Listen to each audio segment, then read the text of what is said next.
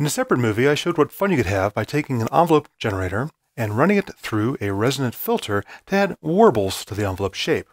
Well, there is actually a module dedicated to this function. It's called the Sly Grogan. It's from Nonlinear Circuits. It's actually based on an old Electronotes article that combined sort of a simple envelope generator and a resonant filter into one module. I thought it'd be fun to go ahead and play with this dedicated module, just to give you an idea what it can do. Like an ordinary envelope generator, you can give it a gate. It can also be re-triggered with a separate trigger function. Move ahead and grab a copy of my gate signal over here and run it into the uh, gate input. It has a gate level, and what that actually is, is a sort of um, amplitude for the final envelope, and I'll show how we can use that to mix in the envelope later on. I'll take its normal output, output number one, run it into the blue channel of my scope for now so you can see it, and then take the output of that blue channel and run it to my filter cutoff on the Mother 32. Let's go ahead and move this cable out of the way so you can see things a bit better. I might notice the attack has this little ringing hump to it. That's controlled by two factors. The attack rate, which is actually the cutoff for the internal filter, and the damping amount. Let's turn damping all the way counterclockwise. We get the least amount of ringing, and now the attack time goes from just a short, quick little blip attack to something that's a bit more dragged out. And then the damping increases the amount of resonant rings we have in that envelope shape.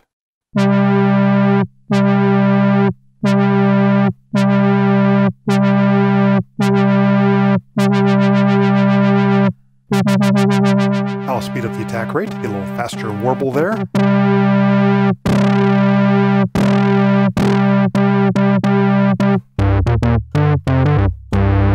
Bite to the start of the attack there.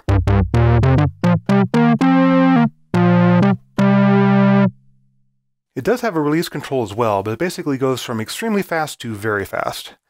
Here is minimum release. Very much sort of a gate off to more of a gentle release. I wish it had a longer release, so I'm actually going to ask Andrew at Nonlinear Circuits if there's a way of modifying mine to get a longer release time.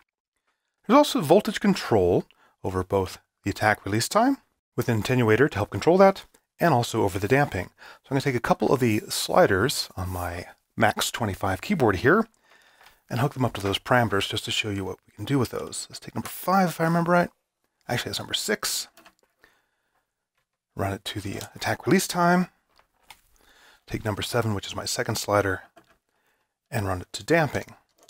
And that way, if I go ahead and set up just say a very simple arpeggio, I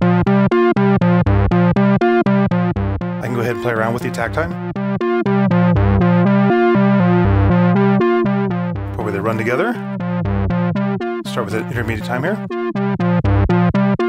Low voltages are faster attacks. Higher voltages are slower attacks to the point where the envelope's triggers start to run into each other. And then damping again is how many resonant bounces we have afterwards.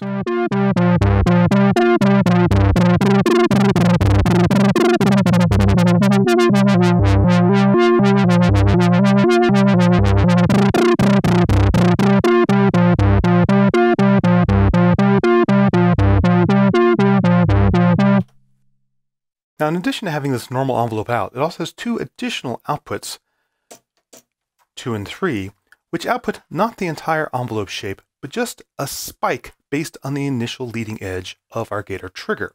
Now that's good for adding to normal envelopes just to add some more interest to them. So let's go ahead and play around with that. I'm going to keep my gate signal. I'm going to go ahead and keep my output. I'll pull those for now, just so we don't get confused by having too many cables around. I'm going to move over to one of the other alternate outputs, like 2 for now. I'm going to take the output of my envelope generator, put it on the green channel just to make it easier to see. And I'm going to route both of these up to the utility mixer so I can mix and match the levels of these two signals. And then we'll take that output and run that to our normal VCF cutoff. Okay, our normal envelope generator is on number 7 here. You see its output on green, And here I'm mixing together the level.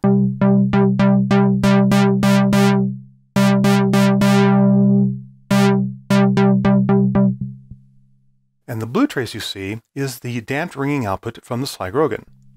That set of humps, if we used it by itself, we just have that little warble. I'll go ahead and raise my cutoff.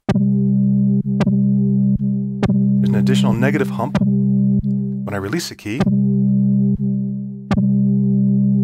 And again, this is affected by your attack and release times.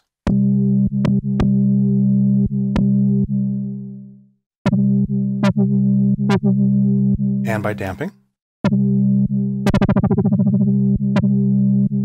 And then out 3 is a sharper version of it, particularly on the attack side. Very nice little stick attack there at the very beginning. I can mix those together to create more complex envelope shapes. And again, because I like you to see these things on the scope, I'm going to pull that output and instead run a yellow cable just for the sake of clarity to the yellow trace of my scope and run that composite up to my filter cutoff so you can see what's going on. Make sure my cables are all the way. So the yellow right now is just the little spike coming out of Sly Grogan, but I'll mix in the normal envelope. Pull down my cutoff.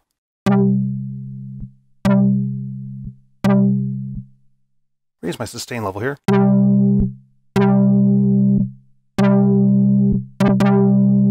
So I have a nice composite envelope between the two. And I can go ahead and invert the contribution of Sly Grogan. So we get a nice little pluck on the key release. a